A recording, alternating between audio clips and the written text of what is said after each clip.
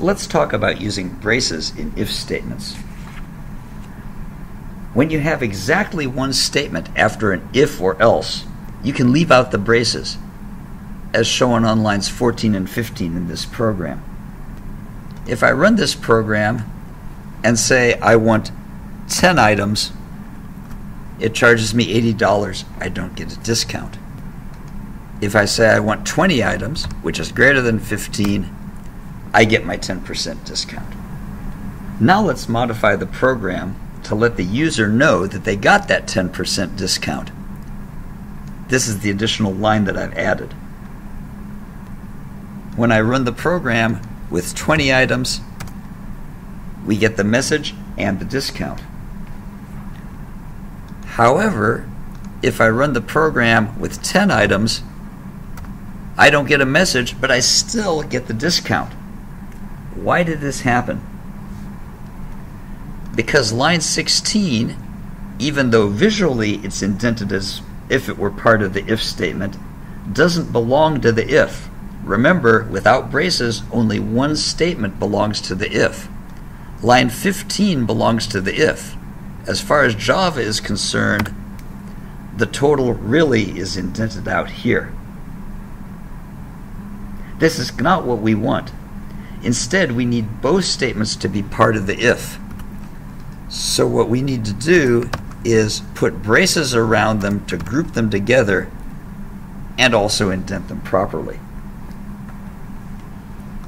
Let's recompile. And this time, when I have 20 items, I get the message in the discount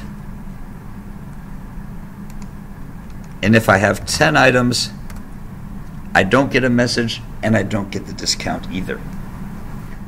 Another problem with leaving off braces happens when you have nested if statements with one else. What happens if you order 10 items in this program?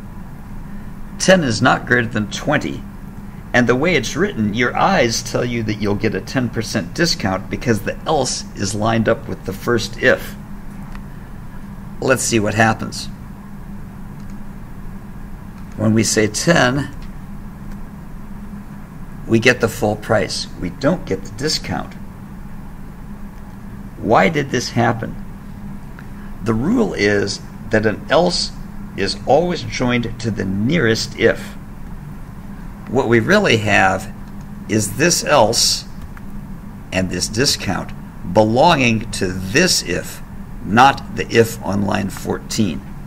If we add braces to group things together, this is what we're really looking at.